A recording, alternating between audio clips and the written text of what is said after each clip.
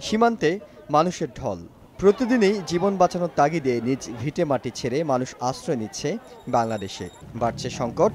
গত এক দশকে শরণার্থীদের এত বড় সংকট দেখেনি বিশ্ব। সমাধানে প্রকাশ্য অপ্রকাশ্যে চলছে কূটনৈতিক তৎপরতা। জাতিসংঘ থেকে শুরু করে আঞ্চলিক পর্যায়ে সবখানে চলছে কথা চালাচালি। নিরাপত্তা পরিষদে এখন পর্যন্ত মিয়ানমারের বিপক্ষে আনা বেশ কয়েকটি প্রস্তাবনা আটকে গেছে চীন ও রাশিয়ার শক্তিশালী পক্ষপাতিত্বের কারণে। এ অঞ্চলের প্রভাবশালী দেশ ভারত শুরুতে মিয়ানমারের সন্ত্রাসবাদ দমনের দাবিকে সমর্থন দিলেও পরে সরে এসেছে সে অবস্থান থেকে।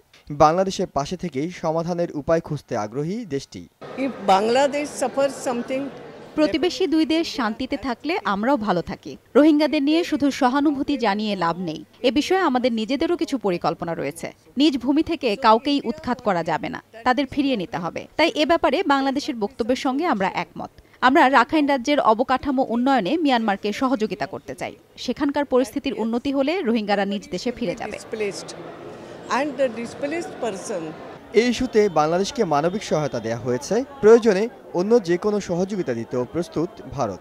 Myanmar government has to speak out যে কেন এভাবে মানুষগুলোর উপর অত্যাচার হবে।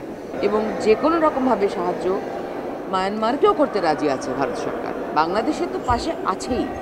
মায়ানমারকেও করতে বলেছে বলেছে যে তোমরাও যদি কিছু সাহায্য চায়, বলো, কিন্তু মানুষগুলোকে ফেরত নাও।